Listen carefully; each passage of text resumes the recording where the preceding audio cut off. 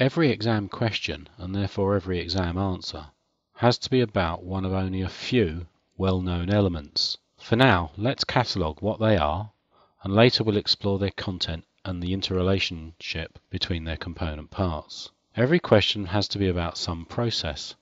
There are seven processes in Prince. There's the starting up a project process, which receives the mandate, builds the team, and identifies what it is that we're trying to achieve. The initiating a project process that says how we're going to approach delivering the result. The controlling a stage and managing product delivery processes, which are the project manager and specialist team members building products and being in control of the progress created. There's the stage boundary process, that refreshes plans each time we get to a position where we've worked forwards through a defined stage but still have more project work to do.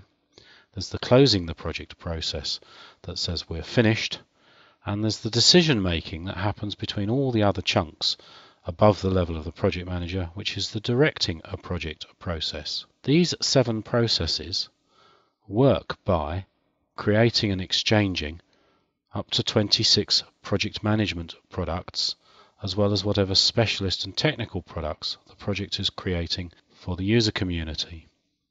There are 26 specialist management products which cover progress reports and exception reports and configuration item records and a number of other record keeping needs.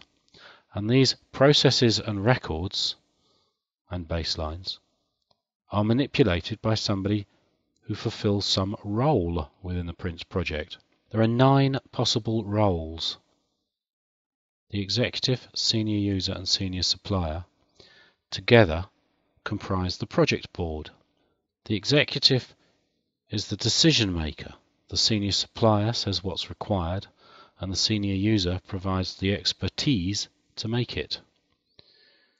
These three roles together retain assurance accountability and they also hold change authority, but they may delegate both project assurance and change authority activity to other people, normally on the basis of people with more expertise and or time.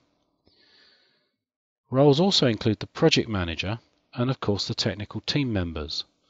Team members may be organized such that they have team managers, and project management may be such a large amount of activity that it needs support, either specialist support in terms of things like critical path analysis or administrative support in terms of things such as booking rooms.